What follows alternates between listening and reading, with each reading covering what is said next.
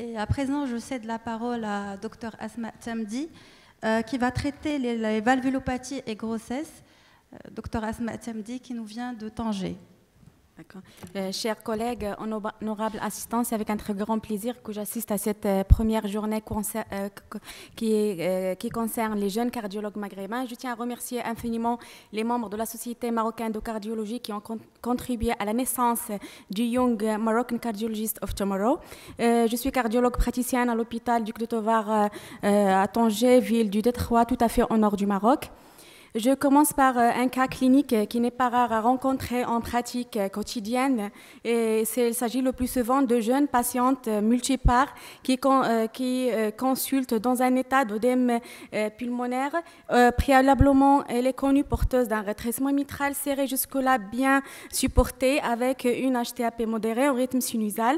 Cette patiente, quand il vient à 26, 26 semaines d'aménorrhée, elle est dyspnéique avec une désaturation et elle est en TAKFA. Et euh, si le traitement médical reste difficile, on se pose toujours la question est-ce qu'il faut faire une délivrance urgente? Est-ce qu'il faut euh, confier la patiente pour une dilatation pulmonaire ou confier la patiente au, chirurgien pour remplacement valvulaire. Si on suit les dernières recommandations concernant la prise en charge des valvulopathies durant la grossesse, il faut savoir que les valvulopathies restent dans le monde la première cause de mortalité et morbidité maternelle, et ce jusqu'à 42 jours du postpartum. Il faut savoir aussi que euh, la, valvulopathie rhumatismale représente 30% de mortalité dans les pays africains, chez les femmes enceintes africaines et, selon un registre, registre d'études prospectives dernièrement publié, 25% des femmes enceintes dans le monde représentent une valvulopathie.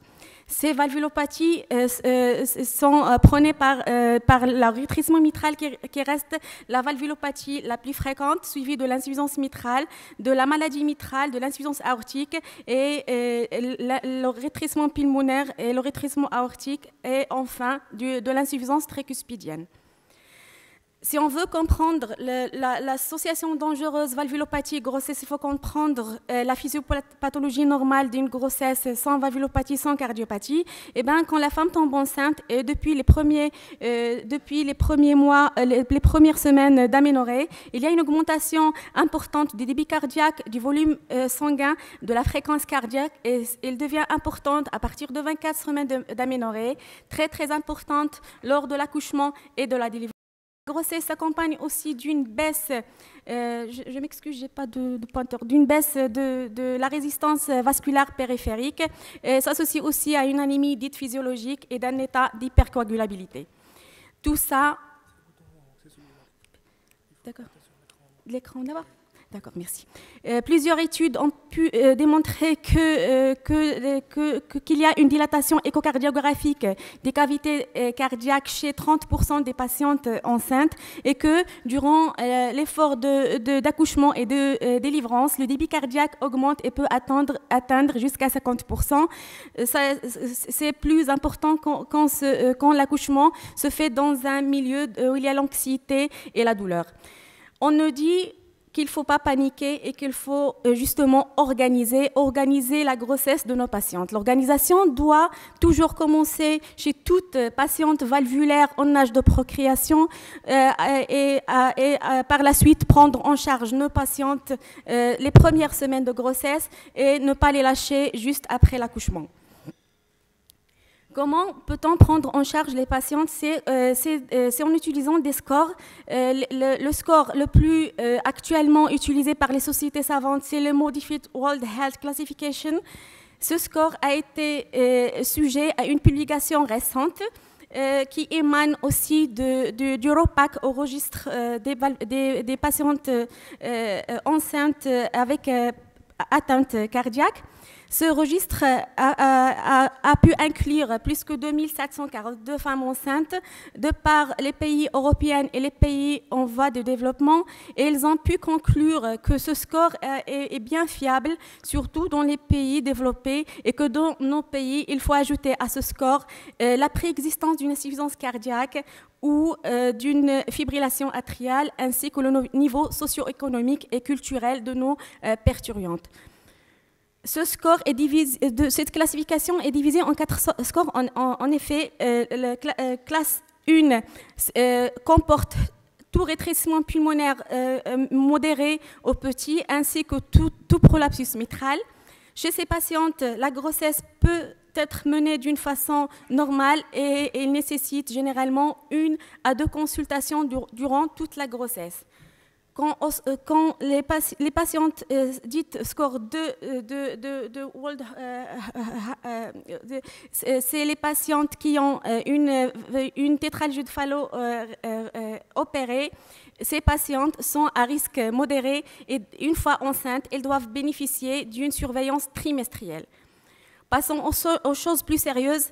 C'est le O3 euh, euh, il concerne les patientes qui porteuses d'une valve, valve, mécanique, ces patientes, euh, les patientes aussi porteuses d'une bicuspidie avec dilatation aortique plus que 45-50 mm ou un marfan avec une, aorte entre 40 et 45 minutes. Ces patientes sont à très haut risque cardiovasculaire.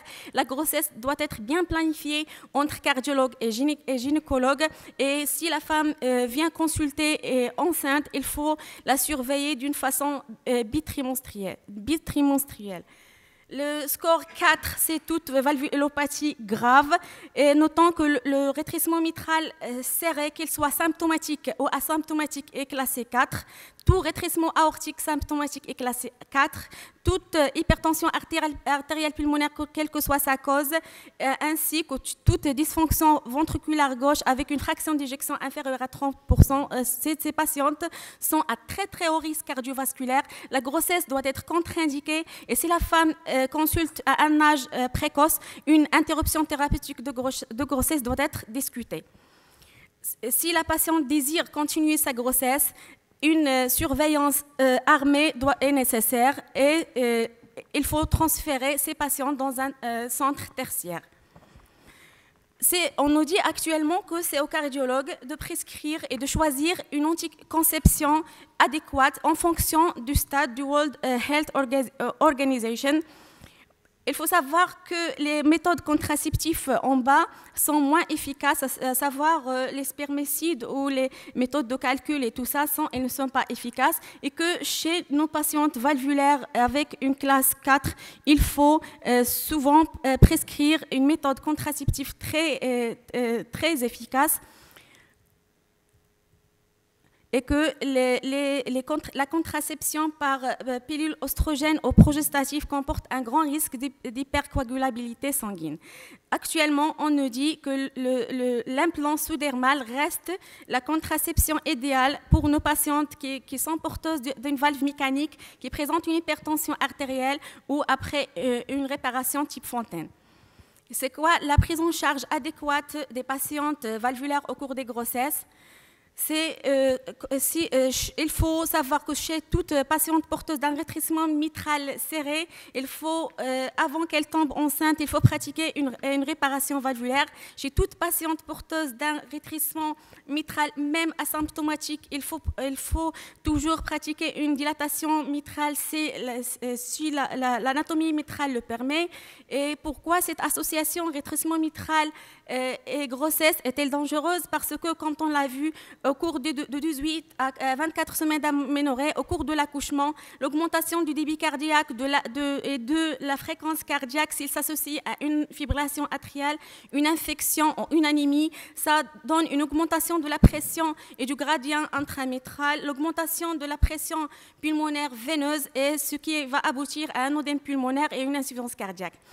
Euh, le traitement médical euh, euh, chez toute patiente qui tombe enceinte avec un rétrécissement mitral, même s'il est asymptomatique, il faut prescrire au moins un bêta-bloquant. Les bêta-bloquants cardiosélectifs sont, sont à préférer. il faut avoir une fréquence cardiaque aux alentours de 70 à 80 battements minutes. La digoxine en cas de contre-indication bêta-bloquant ou quand les bêta-bloquants restent insuffisants. Il faut introduire les diurétiques furosimides chaque fois les symptômes apparaissent ou en cas d'hypertension artérielle pulmonaire. Le traitement anticoagulant par vitamine K ou par héparine est introduire chez toute patiente enceinte qui est euh, porteuse d'un RM en cas de, FA, quelle que soit paroxystique, persistante ou permanente, en cas d'événement euh, thromboembolique, où euh, la question se pose quand le rétrécissement mitral est, avec un, rythme sinusal, mais dilatation des cavités cardiaques. ça reste l'indication des anticoagulants reste très controversée. L'attitude de notre service à Tanger, nous, on anticoagule. Il ne faut pas oublier la prévention du rhumatisme euh, articulaire aigu. Euh, quant à la valvulotomie euh, mitrale percutanée, elle doit être faite chez les patientes symptomatiques ou présentant un rétrécissement mitral très serré après 20-24 semaines d'aménorrhée par des mains très expérimentées une UTO préalable sous anesthésie générale. Et je salue l'équipe de la cardiologie A avec, Madame professeur Haytham qui ont pu réaliser entre 1986 et 2015 4214 euh, euh, valvulotomies, dont 212 durant la grossesse. Et sachez très bien que 24% de ces patientes enceintes étaient en classe 4 et notre patiente a été dilatée euh, efficacement par, par, par cette équipe. Quant au rétrécissement aortique, il faut savoir que tout rétrécissement aortique symptomatique doit être euh, réparé euh, avant la grossesse euh, par, par bioprothèse ou bah, par bioprothèse. si le rétrécissement mitral est asymptomatique, il faut pratiquer une épreuve d'effort. Si cela revient positif, il faut opérer avant, réparer le rétrécissement mitral avant que la patiente tombe enceinte. les valvulopathies fouillantes sont mieux toléré durant la grossesse parce que les résistances vasculaires périphériques diminuent, ce qui va diminuer le volume régurgitant à travers euh, les valves. Euh, si la patiente se dit, euh, est porteuse d'une fuite mitrale ou arctique et se dit asymptomatique, il ne faut pas hésiter à pratiquer un exercice avant qu'elle ne tombe enceinte. Euh, euh, le, problème se pose chez les patientes qui tombent enceintes euh, avec une valve mécanique. Sachez que le, risque thromboembolique augmente de 10%. C'est pour cela que les dernières recommandations de la 2014 nous permettent de continuer durant le premier trimestre le traitement par warfarine si la dose est inférieure à 5 mg et, ils nous disent de ne euh, passer au chevauchement durant le premier trimestre que si la dose de est supérieure à 5 mg. Au cours du deuxième trimestre, l'AA nous, demande d'ajouter une petite dose d'aspirine à 75 ou 100 mg pour éviter le risque thromboembolique. Euh, donc je vous épargne des détails. Pour euh, toute valvulopathie mitrale, aortique ou tricuspidienne, Sachez très bien euh, que l'augmentation de l'anxiété peut augmenter de 50% le débit cardiaque au cours euh, de la délivrance. La voie vaginale est toujours préférée, si vous voyez ici. Euh, donc, la césarienne ne peut être n'est indiquée que s'il existe une contre-indication obstétricale ou lorsque la patiente vient accoucher et elle est sous anticoagulant ou lorsque l'aorte est dilatée avec un diamètre supérieur à 45 mm ou quand il existe une insuffisance cardiaque surtout euh, réfractaire. Donc, comme conclusion, euh, euh, le débit cardiaque et la fréquence cardiaque augmentent jusqu'à 50% par rapport, au, par rapport à l'état normal. une préconception est essentielle pour éviter les complications des valvulopathies durant, durant la grossesse. Et, on, on, a remarqué que la plupart des praticiens sous-estiment le, le préconsuline chez les patientes en âge de procréer. Le rétrécissement mitral reste la valvulopathie la plus fréquente et la plus dangereuse. Et il ne faut, pas hésiter à faire un staff multidisciplinaire afin de, mieux prendre en charge nos patientes. Et comme euh, ma collègue, je, vous, euh, demande aux jeunes et aux, grands cardiologues du Maghreb de nous réunir afin de, faire un registre pour le dépistage de la maladie rhumatismale dans nos pays. Merci, je vous remercie. Euh, merci, euh, docteur Tamdi, pour votre présentation. cela va nous aider grandement dans notre pratique courante. je vous annonce que le docteur Elmenaï donc d'Algérie ne sera pas malheureusement ne sera pas présente parmi nous. elle devait prendre le vol du matin sur Casa. malheureusement, probablement qu'elle prendra le vol du soir. Alors j'invite, euh, euh, je ne sais pas si on fait des, puisqu'on a le temps, il manque une communication, est-ce qu'on fait des questions-réponses ou bien je ne sais pas ce qu'on vous voulez? Donc, alors, donc, alors, si vous avez des questions euh, pour la première communication, insuffisance cardiaque et grossesse. Alors, docteur Habid, si elle peut se présenter.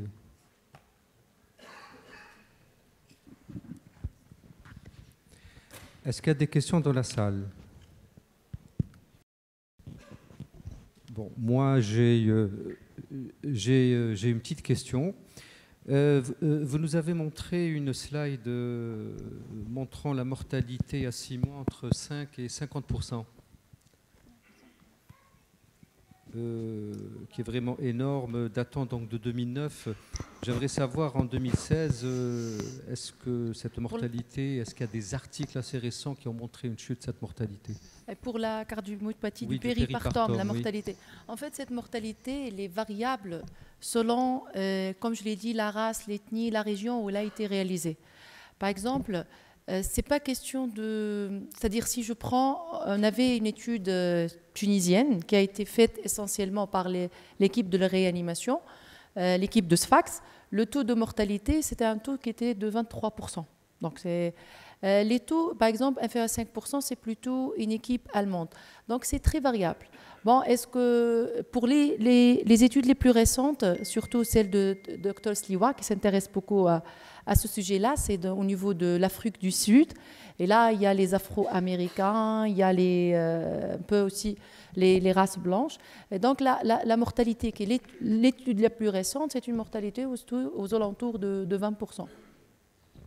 D'accord, merci. Petite question. Euh, concernant la thérapeutique dans la cardiopathie du péripartum. Alors, vous avez parlé qu'on instaure un IEC bêta-bloquant. Par la suite, après restauration de la FEVG, on, peut contre-indiquer éventuellement une grossesse si on a une dysfonction VG présente. Mais combien de temps peut-on encore maintenir le traitement thérapeutique malgré la restauration de la FEVG Ça reste très aléatoire. Il y a des avis très mitigés, donc euh, j'aimerais le vôtre. Oui, selon l'algorithme que je vais présenter, selon les dernières recommandations 2016 européennes, de groupe de travail d'insuffisance cardiaque qui s'intéresse à la, à la, cardiomyopathie du péripartum. Il le précise qu'il faut au moins 12 mois de traitement après la guérison. Il faut garder un an de traitement IEC bêta-bloquant, anti-aldostérone, euh, après la guérison. Et après, pour, par exemple, pour autoriser une grossesse, euh, si elle a récupéré une bonne fonction VG et surtout qu'elle n'a pas un nombre, elle est désireuse de grossesse, et là, il y a le risque récidive de 20%. Il y a certains, par exemple, qui arrêtent le traitement, ils font de l'échographie trois mois après arrêt du traitement et ils évaluent la fonction VG. Si tout va bien, ils l'autorisent. S'ils trouvent qu'elle s'altère, ils vont prolonger encore le traitement. La péricardite péripartum, c'est une, comme je l'ai dit, entité qui n'est pas fréquente et on ne dispose pas beaucoup de données. C'est pour ça, on les, Européens sont en train de faire de registres. Et moi, je vous invite pour faire un registre maghrébin. Merci. Moi, j'ai des questions. La première, euh, euh, j'ai compris que on utilise les arrêts de, les états dans une conversion dans le, deuxième trimestre, de la grossesse. Ça, c'est un. La mhm. deuxième chose, euh, ces médicaments et l'allaitement. Parce que c'est permis encore dans le postpartum. Euh, IEC ARA2, normalement, ils sont contre-indiqués chez la femme enceinte on peut les prescrire en postpartum. Mais tout, au long de la grossesse, c'est une contre-indication. Pour l'allaitement, effectivement, il passe la barrière, donc il passe dans le lait.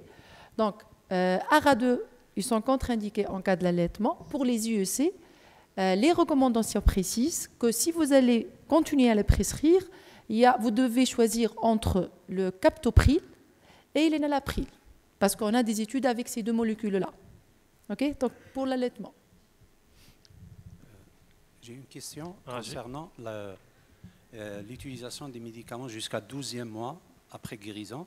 Est-ce que vous référez au strain longitudinal si toujours il est perturbé? C'est-à-dire, est-ce que vous arrêtez le traitement ou vous continuez encore? Si, si, je trouve le strain qui est altéré, est-ce que je continue? Oui. Je vais vous répondre par raisonnement.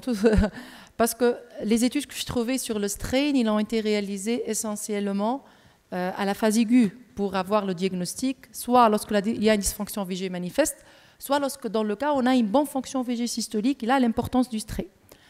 Lors du suivi, à mon avis, si vous continuez à avoir un strain qui est altéré, il faut continuer le traitement. Parce que c'est plus fiable que la, FEVG, donc euh, il vaut mieux garder le traitement. Et, en pratique, par exemple, pour ma propre expérience, on n'a pas un nombre très important. Euh, lorsqu'on on a des cas de cardiomyopathie de péripartant, on fait le strain à l'admission et lors du contrôle, on contrôle aussi avec le strain, même si on a une FEVG qui est conservée. Mais ça ne figure pas encore dans les recommandations, peut-être dans un futur proche. C'est surtout le strain longitudinal global et ce qui est le mieux validé. Moi, j'ai une dernière question. Euh, en fait, est-ce qu'il y a des femmes prédisposées à faire cette cardiomyopathie du postpartum? Du péripartum. Du, du péripartum. non, je, pourquoi sur le péripartum Parce que euh, la, la, péricardite du péripartum, ça touche le postpartum, mais ça peut se voir même en prépartum. Moi aussi, il y a jusqu'à quelques mois, je pensais que la péricardite du, péripartum ne se voit qu'en postpartum. C'est ce qu'on appelle le syndrome de Midhouse.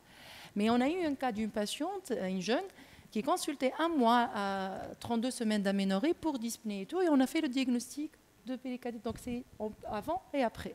Et les facteurs de risque, comme je l'ai dit, selon les études épidémiologiques, c'est surtout l'âge. Plus la femme avance dans l'âge, plus elle est à risque. Les, sujets de race noire, ils sont à plus à risque. Euh, euh, les, femmes obèses, ceux qui développent l'HTA gravidique, euh, essentiellement. Les patients qui sont à risque de faire. professeur Hamoudi, vous avez une question? Merci. Euh, tout d'abord, je vous félicite pour votre euh, belle communication. Je voulais juste apporter une précision par rapport au défibrillateur euh, multisite. nous avons une petite expérience sur notre série de, mise en place de multisites. On a eu trois cas de cardiomyopathie du péripartum, donc arrivés à distance et qui ne répondaient pas au traitement. Eh ben, je peux vous dire que je ne sais pas si c'est une coïncidence ou pas, mais les trois ont très bien répondu, donc avec amélioration de la fraction d'éjection, euh, amélioration clinique bien sûr, et une des trois a même pu faire euh, une grossesse après, un an après la mise en place, accidentelle bien sûr, on lui avait déconseillé. Mais enfin, elle a fait sa grossesse, elle a été très bien tolérée et tout. C'était juste par rapport à ce que vous avez euh, dit. Vous parlez donc de la resynchro plus défibrillateur, donc la même avec la resynchro. Non, non, non, c'était un CRTP. CRT, donc c'est la resynchronisation. Voilà, resynchronisation. Parce que pour, pour la resynchronisation, en fait, c'est une question intéressante. Pour la resynchronisation, en fait, lorsque j'ai regardé euh, la littérature, il y a une euh, équipe allemande qui parle de deux cas qui ont bien répondu à la resynchronisation. Euh, mais il n'y a pas vraiment de grande étude pour répondre. On ne peut pas dire qu'on peut faire pour le partant de la resynchronisation. Euh, donc, euh, parce qu'elle peut bah, évoluer vers la guérison comme elle peut persister. À un patient, une patiente sur deux, elle va évoluer vers l'insuffisance cardiaque chronique. Pour le défibrillateur, si on se base sur les recommandations européennes pour les tout venants insuffisants cardiaques, si c'est en prévention primaire, un patient qui a une fraction d'éjection inférieure à 35%, c'est l'indication en prévention primaire d'un défibrillateur. La même chose, normalement, pour la péricardite du périportant, sauf qu'il faut éviter de le mettre pendant les 3-6 premiers mois parce qu'on espère, toujours la guérison de la patiente. Mais si après elle persiste en dysfonction VG avec une fraction d'éjection inférieure à 35%, dans ce cas, on va mettre le DEF. Et je vous ai présenté juste une nouveauté, on ne dispose pas de cette nouveauté, c'est le défibrillateur qui n'est pas implanté par voie percutanée, ce n'est pas l'implantable, c'est le défibrillateur qu'on porte comme un gilet, parce que c'est provisoire, c'est pour sauver la vie de cette femme qui est à risque de mort subite pendant ces 3-6 mois du postpartum. Et bon, euh, et après, on va se décider pour l'implantation définitive. Merci, euh, docteur Abi. Pardon, j'ai une question pour euh, docteur Tamdi, si vous permettez. Donc, on sait qu'il est toujours difficile d'interrompre une grossesse en cas de rétrécissement mitral, il est toujours difficile de poser l'indication d'une interruption thérapeutique de grossesse. est-ce que, d'après ce que tu as fait comme recherche bibliographique, est-ce qu'il y a des seuils à partir desquels on propose euh, l'interruption quand on sait que on dit souvent que les valvulopathies sténosantes sont mieux tolérées, euh, pardon, fuyantes sont mieux tolérées, donc euh, c'est toujours difficile en cas de, rétrécissement mitral. Oui, j'ai beau chercher parce que c'est c'est malheureusement l'attitude de la plupart de nos staffs. Euh, qui, à, l'hôpital parce qu'on est loin des structures tertiaires et tout ça. Et quand une patiente euh, consulte dans un contexte de rétrécissement mitral très serré, avec un âge gestationnel 6 euh, semaines d'aménorrhée ou 8 semaines d'aménorrhée, quand on fait le staff et on décide, on fait l'interruption, surtout s'il est multipart et qu'on sait qu'il ne va pas adhérer au traitement et qu'on risque de la perdre et de la recevoir en catastrophe aux urgences. Donc. Mais quand j'ai fait la revue de, littérature, l'interruption thérapeutique de, grossesse n'est pas indiquée, ne parle pas de ça. Elle parle d'une prise en charge adéquate médicale et par, et par dilatation par ballonnet. Et les recommandations incitent, insistent sur le fait qu'il faut plus euh, pratiquer le remplacement valvulaire euh, euh, par, euh, par, par valve mécanique chez toute patiente en âge de procréer, d'essayer de préserver au maximum la valve. Mais l'interruption, non, j'ai pas trouvé de, il n'y a pas de, de, données dans la littérature. D'autres questions? Donc une question d'ordre pratique pour docteur Tamdi. je veux vous remercie avant tout pour euh, la qualité de votre euh, exposé. Et là, juste une question sur l'anticoagulation. Vous avez dit que en cas de rétrécissement mitral, on donne dès le premier semestre, c'est ce que j'ai entendu, l'anticoagulation par voie orale, même la warfarine. Donc ma première question. C'est pas moi j'ai parlé de l'anticoagulation dans le RM quand quand, EFA, quand survient une EFA. Oui, oui, y a les indications. Et dans les, en cas de, de, de, de prothèse, de prothèse mécanique. Euh, on recommande plus de faire le chevauchement systématique warfarine, euh, héparine de bas ou héparine sodique, mais on nous dit dans les recommandations si la dose, euh, la dose prescrite pour un inert cible est inférieure à 5 mg day, ça veut dire on, on, continue, on ne fait pas de chevauchement parce que les conséquences du chevauchement sur le risque thromboembolique est supérieur au risque d'embryophotopathie. Je suis d'accord, mais vous, en pratique, lors du premier semestre, est-ce que vous êtes en train de donner d'anticoagulants par voie orale oui. Et vous disposez du warfarine C'est pas le syndrome que vous avez au Maroc? Non, si, le syndrome. Mais, euh, le warfarine, parce que le syndrome. Euh, est-ce que vous avez le warfarine le, le comadine, le syndrome, c'est.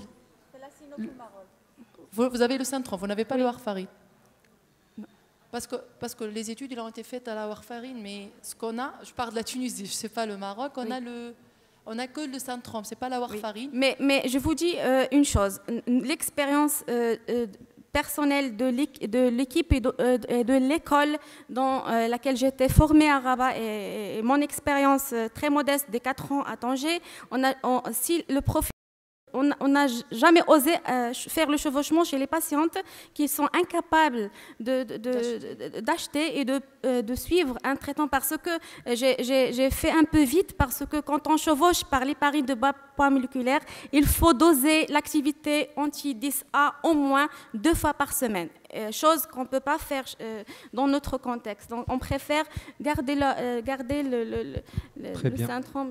Merci. Très bien.